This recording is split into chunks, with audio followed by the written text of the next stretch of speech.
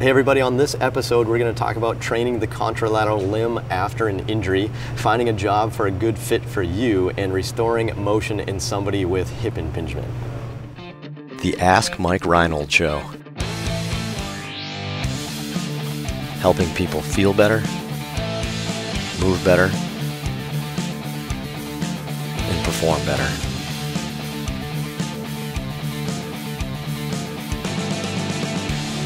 What's up, everybody? Welcome back to the Ask Mike Reinold podcast. Mike Reinold here. I'm with Lenny Macrina. What's up? What's up? I had an itchy ankle. Sorry. What's up? We got the Gabinator here. I don't know how that happened. Uh, you're, you're Episode five, right? episode five. So this is when the Empire Strikes Back, right? yeah, that's good. I like that. Episode five, The Empire Strikes Back. We're gonna go with that. uh, would you be Would you be a rebel or would you be What's the other ones? They're rebels and then the Empire. yeah. But then in the new one they're different. Spoiler alert. Spoiler. Sorry, sorry. In the new one they're different, right? I'm still trying to figure it out. Ah, crazy. Uh, welcome back, everybody. Um, we are busting away at this podcast. Uh, hope you guys are enjoying and doing this here. Uh, we get another uh, few great questions for today. So, Gabe, let's start it up, buddy. All right, first one comes from Norway. Norway. We're getting a lot of international ones. I like that. Good stuff, Norway. What's his name? Uh, Joe Hagen. Joe. What's up, Joe? Thanks for submitting a uh, question. What is your view of unilateral strength training on the contralateral side, and do you implement it in your training program for athletes slash clients? All right, what is your view on unilateral training on the contralateral side? Yeah. And do you use it with who? Do you implement your training program for athletes and clients? And do you do that with athletes and clients? All right. So, uh, what I would assume you're saying, if, if you're talking contralateral, I assume you're you're saying that there's an injury. So, like like you hurt your left leg, and your question is, um, do you work on the right leg? So, wow, Gabe, I need your input here. Um, going back to neuroanatomy here, um, the decussation, right? Of uh, stumped. uh, the, uh, yeah, I mean, a lot of your motor fibers decussate uh, and or don't decussate. This is not my world, as you're as you're figuring out here, right? So there's a certain amount of fibers that don't cross over to the other side, right? So this was back. This is we were talking about this in the '90s about like, um, you know, does training on the the the contralateral side actually increase strength because of some of those those things? Um, so I, I would say there's definitely some merit to it. Um, I don't know if that's the scientific reason. I would also throw in there. I think it's really funny when people say like single leg training and think that the rest of the body is just completely not involved. You know, like a rear foot elevated split squat is probably the most common one where we're talking about, you know, you know, why can somebody lift if you add up the weight that you can do on the left and the right on a rear foot elevated split squat, split squat, why can you do more than a back squat? Well, because you're using your entire body. You- You're not just using your left leg and then your right leg versus the two together. You know, w- when I do things like reverse lunges, rear foot elevated, um, I feel just as much on my moving leg, my lunging leg, than my, my plant leg.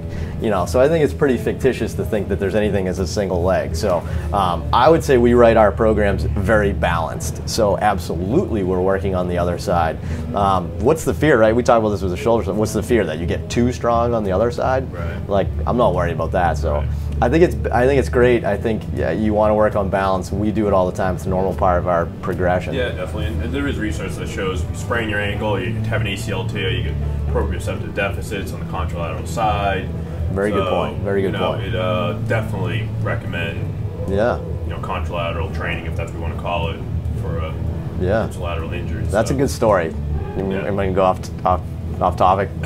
I'll uh, I'll go off topic. There's a good story behind that. So in the early 2000s, we actually tried to start the study on proprioception. So what, what we were doing was we were trying to test kids, uh, you know, we in, in Birmingham we we cover we talk about Birmingham a lot, but in, in Birmingham we, we covered like 35 sidelines every Friday night in high school football. So we had this like petri dish of kids that we could use. But what we did is if a kid tore their ACL on Friday, we tried to test them Saturday morning, and we tested their proprioception side to side, and we wanted to follow that to see if their proprioception changed. And what we found was the proprioception on the good leg went down too. So what happens sometimes is the good leg actually gets worse, and I don't know if there's some central mediation. We've kind of talked about that a little bit if it goes down. But the funny story is, it was very hard to get subjects for that. very hard to get people that wanted to come in like six hours after they tore their ACL. They're still depressed. You know, their football career, their high school football career is over, which is a pretty big thing in Alabama. But they um, they were pretty depressed. And Georgia. Sorry, Gabe. Um, uh, they were pretty depressed, and, and we were trying to do this study and follow them up. So we had two subjects. You remember this? Were you part of this? No, was this before you? before so subject one was Kevin Wilk's son, and subject two was Dr. Andrews' daughter. That's really all we did. I think we may have, we may have done a little bit more. So yeah, but it was super interesting. But we showed that proprioception. We were using the Biodex stability machine, kind of went down. So there's some sort of central mediation. So to make a long story long, yes, We're good at that. Gabe. All right. Uh, Kelly Barber from Lynnwood, Washington. She asks, I'm a PTA and moved about one year ago. I worked at a privately owned outpatient PT clinic for 15 months prior to moving. This job was offered me prior to graduation, therefore I did not have to apply or job search. My question is, how do I go about finding a job with a good fit? right. So Kelly, right? Kelly, Kelly PTA from Washington. Washington. Awesome. Thank you, Kelly. Um, good question. I like that. So, Kelly, you settled on a job. Sounds like it's not a good fit right now. or is she moving? I want to say this is, she worked at a place for 15 months and now she's looking for another place? Okay. All right. So I, I thought she was moving or something, but that's fine. Okay. I mean, Right. to me, whew, um, friends, social media, you know, putting words out, trying to do research on what good clinics are. You get it's going to be difficult if you're going, if you're moving, or trying to find a um, a clinic that fits you. I don't know what that means, fitting you, but. Um, what's what's your passion? What are you trying to get into sports medicine? Are you trying to get into a fast-paced clinic? I doubt it. Um, you're trying to get into physician owned, who knows? I mean, I don't know what, what the goal is, but social media and connections within the organization and going to meetings and talking to people, uh, that might be a good avenue. Um, and just word of mouth to me, and then visiting, you know, and just interviewing and visiting and spending a day with the clinic, get a good vibe on what's going on in the clinic, and, and talking to the staff, and, and, and just getting their their ideas and their goals and what, how long they've been there. If they've been there five, ten years, that's a good sign that they're happy. Um, I don't know if you Yeah. have anything else, but you know that's if I was going back through the job search again, then that's something that I would do. It's going to be difficult. It's going to be a challenge. I can't imagine, especially if it's a, distance where you, if you're moving and you got to go somewhere else or fly there. And um, I wish I had a better answer. Yeah, I mean, it, as new grads, I'd say the majority of new grads, you, you get your positions, um, you know, through clinical rotations or things you did in school. So they know you, you know them, you, and everybody knows it's a good fit. So that, that's where the majority of jobs come from. So I, I get where your question's coming from. Is Yeah. that's the logical best fit. So now you have to do the reverse hack in my mind. So as an employer, you know, what do we do? I mean, well, we'll stalk you on Facebook for a little bit. We're going to look at your social media profiles to see what what you what's your character like. What are your what are, what are your core values and stuff like that on social media.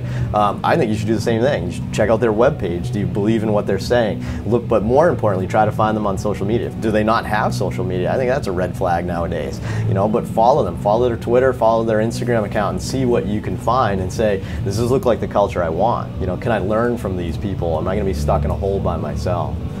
So um, yeah, so tough one, but I mean totally doable. And then I, I would I would also say too, like it's okay being a free agent, you know. So find a place if it's not the best fit, just keep looking. You can Yeah. always keep looking, and Yeah. you, you'll find the fit. So, but yeah, no good good ideas from Len. Reach out to your friends, but I would say just do as much investigation on the place and see is is it a place you want to work at. You have to think mentally. You're kind of interviewing, pre-interviewing them.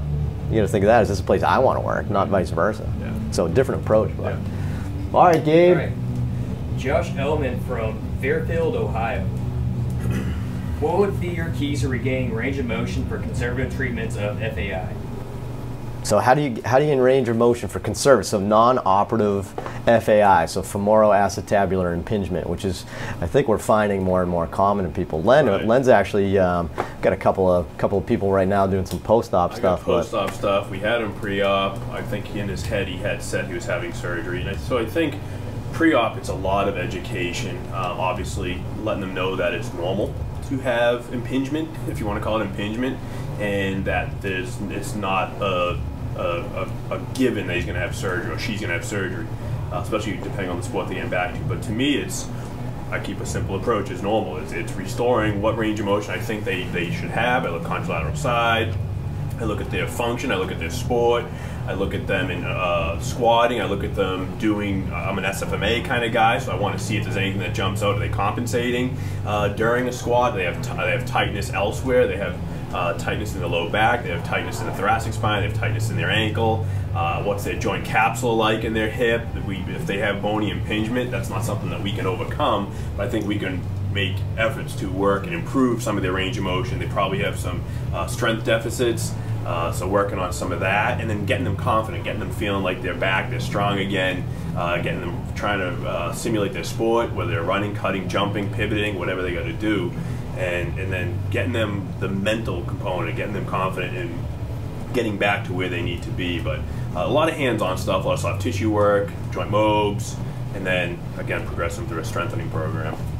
That was pretty thorough. That was a lot. That was how to rehab an FAI Yeah, from yeah. start to finish, right there. um, I, I, I would just say too, remember that FAI is impingement, and maximizing the range of motion isn't always your goal.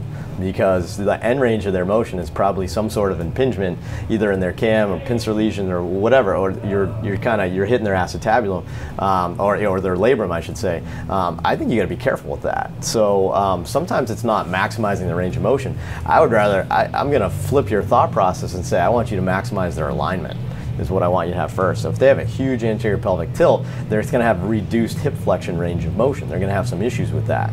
So rather focus on just jamming them into hip flexion where you, you're just going to get impingement, I'd focus on getting them more posteriorly tilted, posterior dominant in there so that way that frees up more available functional range of motion.